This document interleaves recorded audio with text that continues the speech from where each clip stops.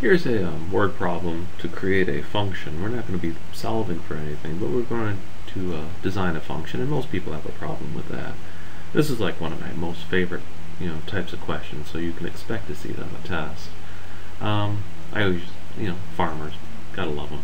A farmer has 2,500 feet of fencing materials. He wants to create a field that is partitioned in the middle to contain his cattle, um, but he wants to separate his cows and bulls and we want to create a function dependent on one of the lengths of the sides. It doesn't matter which side, but um, I usually go with X.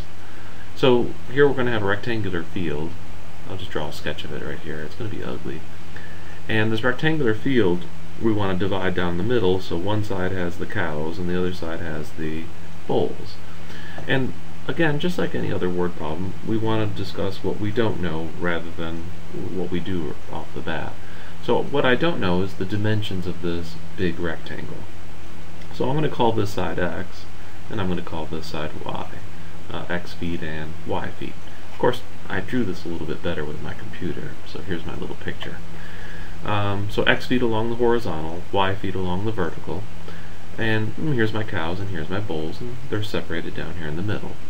So what I need to do is use the information in my problem to figure out some kind of equation. And the only value that I'm given is this 2,500 feet of fencing. That's going to be the amount of this brown line, including this middle piece here. So that's kind of like a perimeter.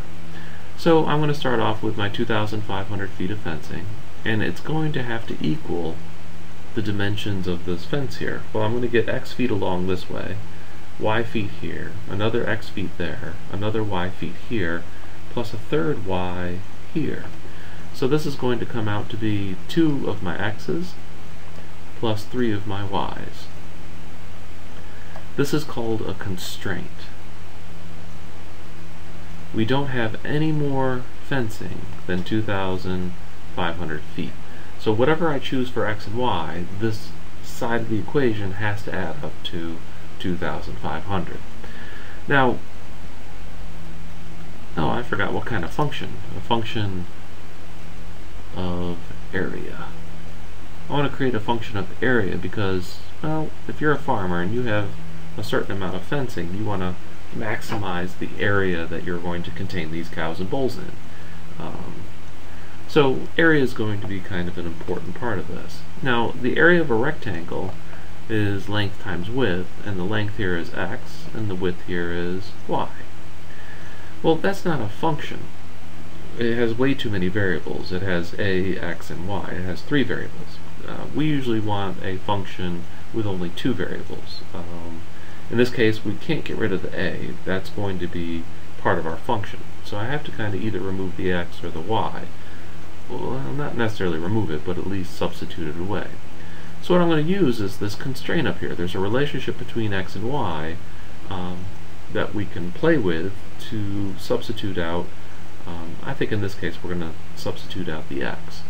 So what you do is you take your constraint equation with 2500 is equal to 2x plus 3y and you solve for either of the variables. It really doesn't matter which one. Um, I'm going to choose to solve for x. Uh, you can solve for y also, it really doesn't matter. So if I solve for x, I'm going to get 2x is equal to 2500 minus 3y, subtract 3y from both sides, and then divide everything by 2. So we're going to get 2500 minus 3y all divided by 2. That's perfectly fine. if you want, you can separate it. You can do the uh, 2500 divided by 2, get your 1250, and you can write this as uh, 1250 but you have to be careful. It's now going to be minus 3 halves y. That 2 has to divide both terms. So now I can take this and substitute it back into this equation. So I'm going to get an area function in terms of y. I'm going to substitute the x with 1250 minus 3 halves y, and then finally bring my y down here. And I can simplify this. It's an area function in terms of the side y uh, of 1250 minus 3 halves, I'm sorry, back up. 1250y minus 3 halves y squared after distribution. Later in the um, book, we're going to find out how to maximize this uh, rectangular pen um, to benefit the cows and bulls, give them you know, as much area as possible.